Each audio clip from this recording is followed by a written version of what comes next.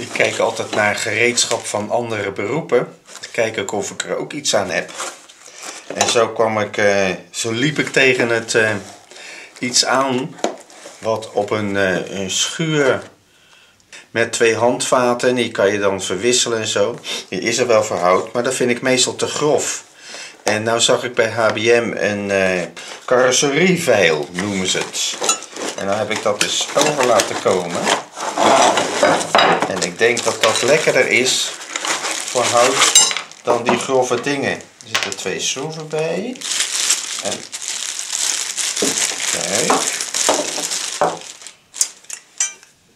En dan kan je rond twee veilen, een ronde. Dus je kan hol wegveilen en het is een platte. Ja, ja. Zo. Kijk.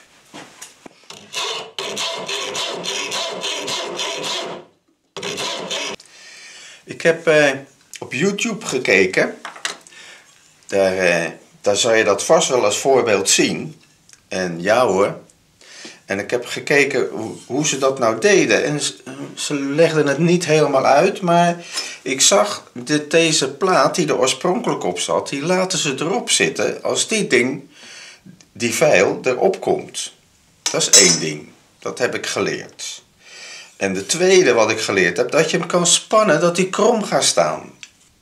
Nou, als ik dit zo in mijn handen voel, dan voel ik helemaal niks. Ik denk, nou, maar dat gaan we eens uitproberen. Want dat heeft natuurlijk wel voordelen, dat je minder grote oppervlakte aan het raspen bent. En eh, ja, je, je kan holle ruimtes eh, raspen en bolle ruimtes. Nou komt het bij mij niet zo vaak voor. Maar oké. Dan gaan we dat eens even keurig weer terugzetten. Dat dingetje. En wat me ook wel opviel, dat er heel veel verschillende prijzen in waren. Nou is HBM natuurlijk eh, bekend om zijn goedkope prijzen.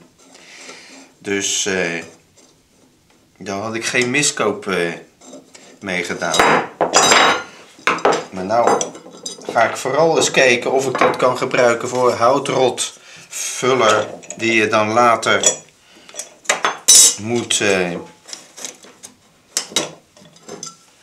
moet gaan eh, vlak krijgen. Soms komt dat voor. Ik probeer het altijd wel eh, dusdanig te repareren dat dat vlak al een heel wat eh, goed in de richting komt. Dat spaart houtrotvuller plus je arbeid later natuurlijk. Kijk, dat is één schroef. Dit is de tweede. Want ik weet het niet, maar ik denk dat deze plaat toch wel een functie heeft in dat rondbuigen. En als ik nou ga draaien, één kant op, ik zie wel welke kant. Dan moet hij gaan spannen. En hij gaat inderdaad, gaat hij, ik weet niet of dat op de camera nou te zien is. Maar als je er langs kijkt, dan is hij echt hol. Dat is fantastisch. Dat had ik nooit gedacht. En natuurlijk niet uitgeprobeerd zonder dat ding erop. Maar de andere kant moet die bol worden. Even kijken. Denk ik zomaar.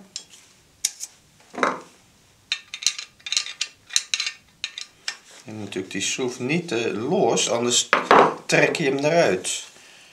Ja, hij staat nu bol. Even, nou weet ik niet meer welke kant ik uitging. Ik denk deze. Nou ziet dat plaatje, zie ik wel, een beetje loskomen. Nou, hij is inderdaad bol. Nou, zo bol wil ik hem wel hebben. En ik heb hier een stukje, twee dagen geleden, lekker ruw ingezet. En die ga ik eens een keer schuren. Nou is natuurlijk het begin het grofste werk. Kan je met een, een bijtel natuurlijk veel mooier even weghakken.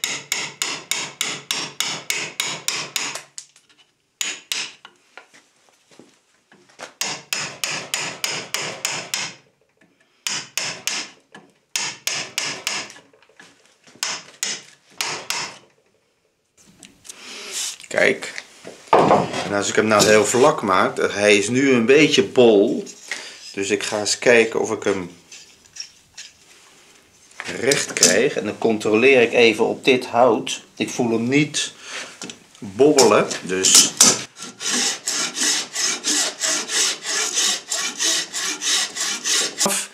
Er zijn natuurlijk verschillende manieren. Maar ik probeer het natuurlijk ook nog uit. Omdat ik dan weet dat ik bol en hol kan. Dus als ik bij situaties heb dat het een rond profiel is. Dan eh, kan je het ook nog met de schaafduk doen. Maar dan is misschien zo'n ding wel een oplossing. Maar ja, je hebt natuurlijk ook deze nog. Zo'n holle rasp. Als het echt helemaal hol wordt, dan wordt een schaaf erg moeilijk hoor. Daar is steeds natuurlijk ontzettend goed voor. Maar die kan je dus niet bol trekken. Daar, daar geloof ik niks van. Want die is hol. Die kan je niet bol trekken. Dus die moet je echt gebruiken als zo'n hol die je hier moet creëren. Dus de toevoeging is eigenlijk dit ding. Deze holle. Deze vlakke. Een klein beetje vlak heeft op mijn gereedschap als timmerman niet zoveel toevoegen.